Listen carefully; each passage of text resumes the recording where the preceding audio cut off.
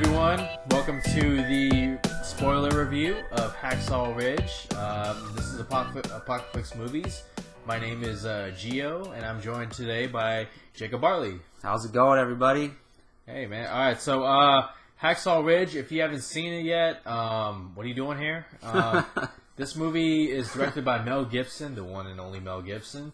Stars Andrew Garfield as uh, Desmond T. Doss, a real-life medic who during World War II saved over saved 75 men at the Battle of Okinawa. He was a soldier who refused to to um, to carry a gun, but still went out in the battlefield and showed incredible bravery, courage. The film also stars Vince Vaughn, Hugo Weaving. Uh, what's what's the girl's name? Um, what's her name? Jake. What's her name? Teresa Palmer. Teresa Palmer. Thank you. Yeah, Jake back there. um, so let's talk about the movie first. Um, what we did like, and I'll start it off. Um, look, Mel Gibson. He's always been great when it comes to action scenes and war sequences. Braveheart was one of the best movies. Would you agree? Of like, Yes, I like mean, all time. all time. like he he won a, a director, best picture. It's well deserved. In this movie, he takes what he did so well and brings it into Hacksaw Ridge. Like those war sequences, action, they felt as real as possible. They're very bloody. They're very gory. Mel Gibson did not hold back, and just the sequences, like for Andrew Garfield to run through all that and to show his bravery of um, being a medic, like all of it felt authentic and real. Um, I say the performances were top notch. Vince Vaughn, we've never seen a performance great. this great from him. great.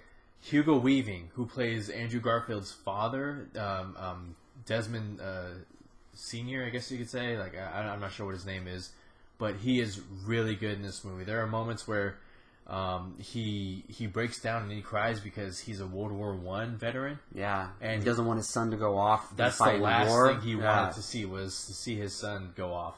But you know he he ends up you know uh, being there for his son when his son needs him the most, and it's a really really uh, heartfelt performance.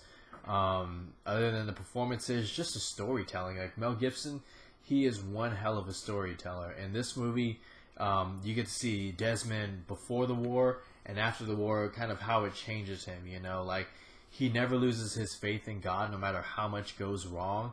But I mean, at the end, you just you look into his eyes and you see just all the pain. Like no matter how much he saved, he wanted to save one more.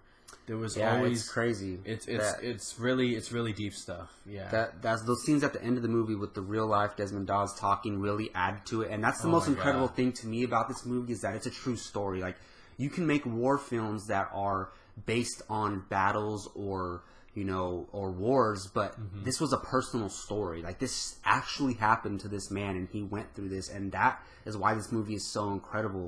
Mel Gibson was able to take a true story and and turn it into a, a magical film, and that's not easy to do. It's it's hard to tell these tragic true stories, but this is one of the greatest stories in American history, and it's it was told so brilliantly. And Andrew Garfield absolutely kills it in this performance. Like I haven't seen Silence yet, but he's gonna get nominated for this or Yeah. Si- if he's better in Silence. Oh my goodness, he might win the Oscar this year. Yeah. I haven't seen all the great performances, but um, he, he's definitely up there as far as performances go. Like you like you said, Mel Gibson took Vince Vaughn, an actor who's up and down as far as dramatic performances go, Oh, yeah. and he made him great. He was one of the best parts of that movie, and his relationship with Desmond Doss was one of the best parts of that movie. And that's one of my favorite parts is the relationship with all the different characters. Like he, the way he starts off with all the characters in the movie, and the way it ends up, they end up truly respecting him for what he did. Oh, and yeah. then I also enjoy the first half of the film. Like, there's no war scenes in the first half of the film. It's kind of a love story. Yes. And, you know, I'm kind of a sucker for romance in film, so I enjoyed that part of the film and how it elevated the second half of the movie because you see, you kind of felt what he was fighting for, like what he wanted to go back home to. Mm-hmm. And even though he had his wife that he loved to go back home to, he still kept risking his life to keep saving these these soldiers that you know weren't the nicest people to him in the, Yeah. earlier in the film. So just this true story is absolutely incredible. The war scenes are amazing, and honestly, I don't really have any negatives for this movie. Like I, there's really not any weak points in the film, in my opinion. Do you have any things you can point out, or No, honestly, like that's and that's crazy to say? and Like, I, I I promise you, like this is one of the best movies that you will see all year.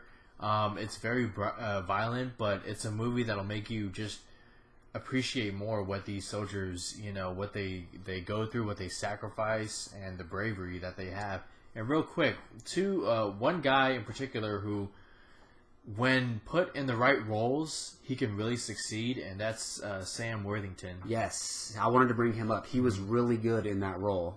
Yeah, for sure. He surprised me a lot as well. And you know what actually else surprised me is it was this movie was funny in certain moments. Oh, yeah. Especially in the beginning of the movie, like the soldiers interacting, Vince Vaughn's character, it wasn't like his normal comedy. Just they used him in a way yeah. exactly to, to make the, the interactions between the soldiers funny in the beginning of the movie and uh, yeah, when you can add some lightheartedness and comedy to this re- very dark situation, it, Mm-hmm. it just adds to the brilliance of the film. And real quick, let's just talk about Mel Gibson. Like, what does a movie like this do for his career? Like, I mean, there is no denying he is one of the greatest directors of all time and one of the greatest working today. For him to put out this movie, one of the best movies of the year, it- Yes. it, might win Best Picture. I mean, that it's going to be close between that and La La Land and a couple others.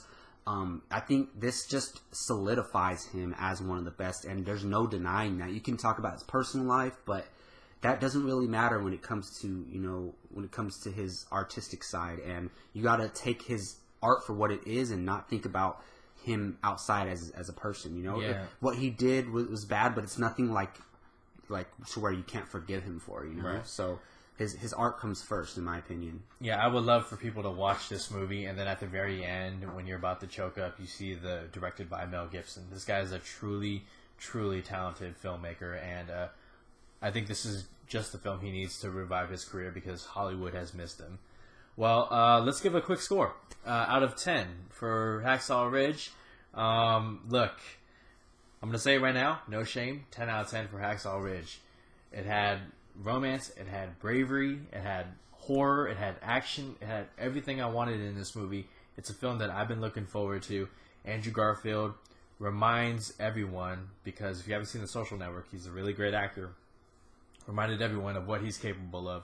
Mel Gibson, a return to form, a return to greatness, and just overall a really, really phenomenal Nice. film. 10 out of 10 so i hadn't really thought about a score until now and reviewing this film considering i couldn't think of any negatives i've only given three movies in my whole entire life a 10 out of 10 but you can make that four i'm giving hacksaw ridge a 10 out of 10 as well Oh boy. it is absolutely amazing just thinking it. Mm-hmm. about the movie I, I there's rarely movies where you can say there's no flaws in the film and i think hacksaw ridge is one of those Yeah, absolutely. Well, thank you for joining us, guys. Check out Hacksaw Ridge if you haven't.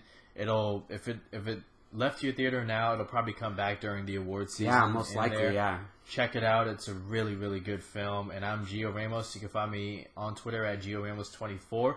Check out apocaflixmovies.com where you can find a lot of articles, editorials. And Jacob, where can they find you? You can find me on Twitter at Jacob Barley underscore on this YouTube channel all the time. Uh, please subscribe and hit that like button. We really do appreciate it. All right, guys, that'll do it for us, and we'll see you next time.